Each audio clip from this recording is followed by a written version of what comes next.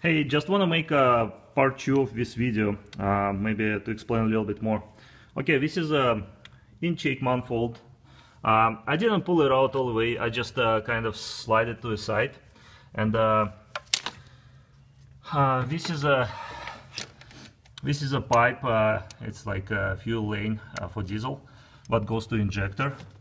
And um, two number 8 nuts, what would hold the old injector in spot, like uh, one here and one here, and this is an old injector.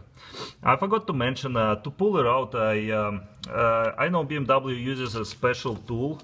Um, I didn't really have a special tool, and I didn't want to buy one. But I had old um, coupler from a radiator. It's like a transmission coolant lane from radiator. I don't remember, it was uh, some Hyundai, I think, or Kia.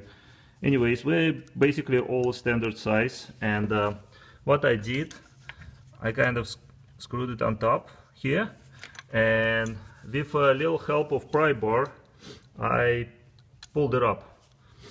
I know some uh, some special tools we use a side hammer but uh, this this vehicle uh, fairly new and uh, this injector came out um, okay I had no no really problems checking it out. Um, for this little top like this uh, this little briefers um, this plastic uh, this white plastic you just kind of lift it on top when it will come out.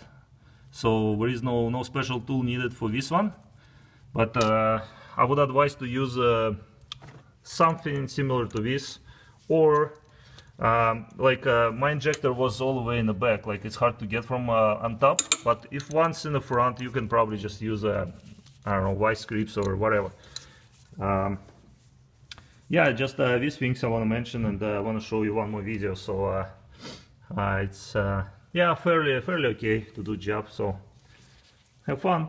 Thanks.